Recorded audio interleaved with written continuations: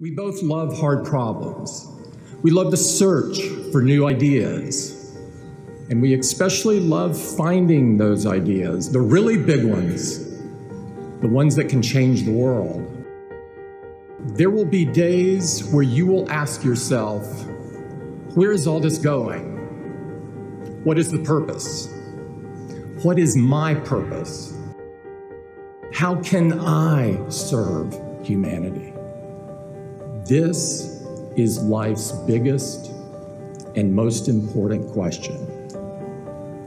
When you work towards something greater than yourself, you find meaning, you find purpose.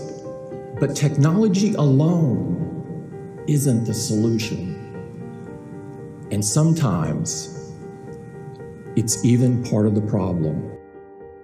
Never has humanity had such power over itself yet nothing ensures that it will be used wisely.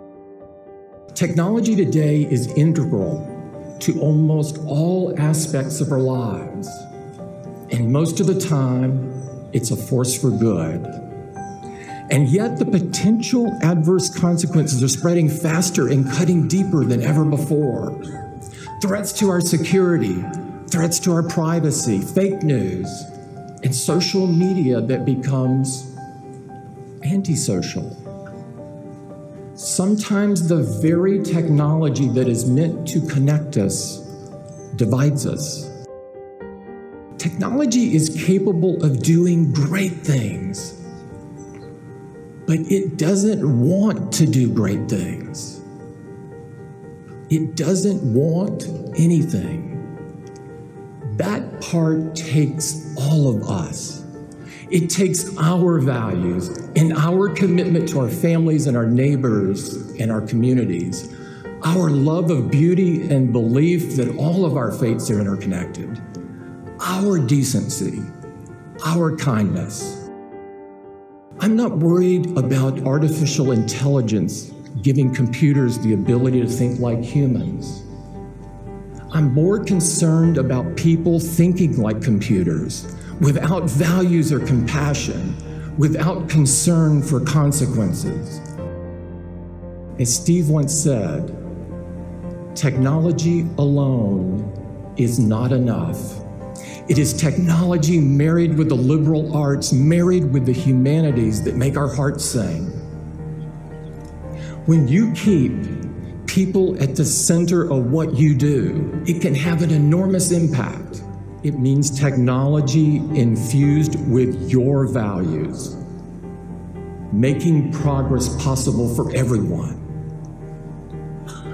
Whatever you do in your life, we must infuse it with the humanity that each of us is born with. That responsibility is immense but so is the opportunity.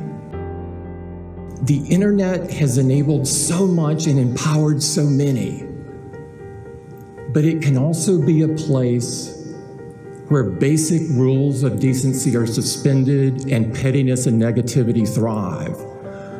Don't let that noise knock you off course.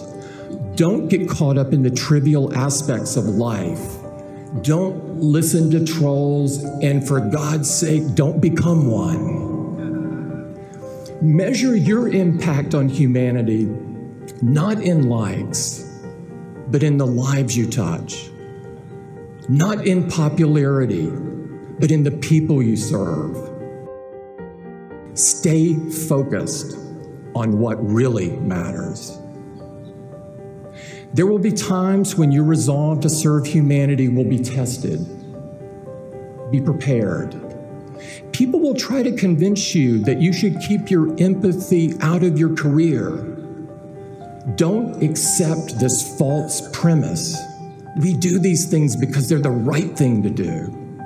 And protecting the environment is a critical example.